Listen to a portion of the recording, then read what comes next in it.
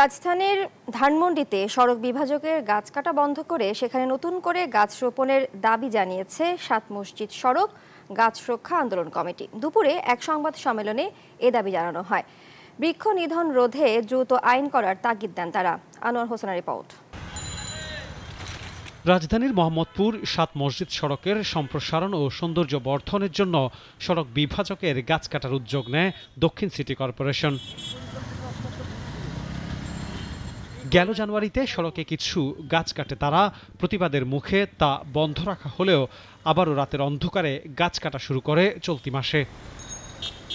প্রতিবাদে স্থানীয় বাসিন্দা, নাগরিক সমাজ ও পরিবেশবাদীরা শুরু থেকেই সরব। এই নিয়ে সংবাদ সম্মেলন করে গাছ রক্ষা আন্দোলন কমিটি। প্রশ্ন জাগে এই গাছগুলো কে, কত টাকা বেয়ে কি উদ্দেশ্যে এই সড়ক দ্বীপে লাগিয়েছিল? জনগণের করের টাকা অপচয় করেছিল।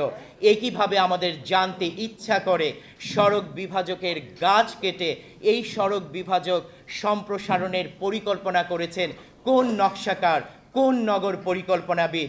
কারণ আমাদেরই তো করের টাকায় গাছ লাগানো হয়, আমাদেরই তো করের টাকায় সড়ক বিভাজক সম্প্রসারণ করা হয়, এই নগর উন্নয়ন করা হয়।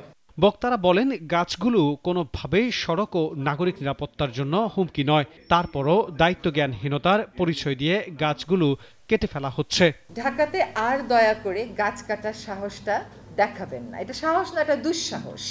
এটা আর দেখাবেন না। আমাদের এমনিতেই গাছ নেই, যেটুকুন আছে সেটুকুনকে বাঁচিয়ে রাখেন। সাত মসজিদ রোডে যে তিরিশটা গাছ আছে, আজকে যে এই যে সিনিয়র সিটিজেন্সরা আছে, তাদের দিকে সম্মান দিয়ে এই গাছগুলো বাঁচিয়ে রাখেন। আজকে যে নতুন ভোটাররা আপনাদের কাছে আহ্বান জানাচ্ছে গাছগুলো বাঁচাতে, তাদেরকে সম্মান করে গাছগুলো বাঁচান। আজকে যে স্কুলের বাচ্চাগুলো দাঁড়িয়েছে, তাদেরকে সম্মান করে এই গাছগুলো বাঁচান। একটা উপায়ের সঙ্গে যখন লক্ষ্যকে গুলিয়ে ফেলে, তখন কিন্তু একটা বুদ্ধিবৃত্তিক জটিলতার সৃষ্টি হয়। বুদ্ধিবৃত্তিক অদক্ষতার সৃষ্টি হয়। বুদ্ধিবৃত্তিক বোকামির সৃষ্টি হয়।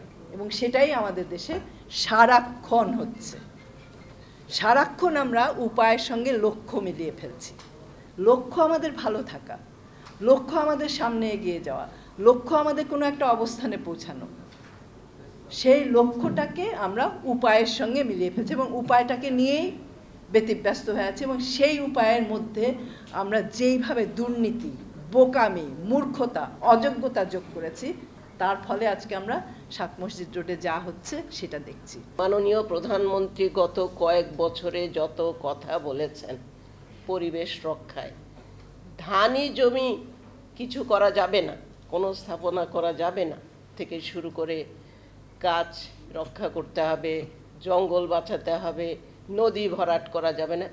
পরিবেশ রক্ষায় এমন কিছু নাই যে উনি বলেননি বা দিক নির্দেশনা দেননি। তার কথাকে তার দিক নির্দেশনাকে অমান্য করে সিটি কর্পোরেশন কি করে? কোন সাহসে এই যে কন্ট্রাক্টররা কাজ করছে? এই খুঁটির জোরটা কোথায় জানতে চাচ্ছি? সড়কে থাকা গাছগুলোকে রক্ষার পাশাপাশি নতুন গাছ লাগানোর তাগিদ দেন বিশিষ্টজনরা। আনোয়ার হোসেন নাগরিক ঢাকা।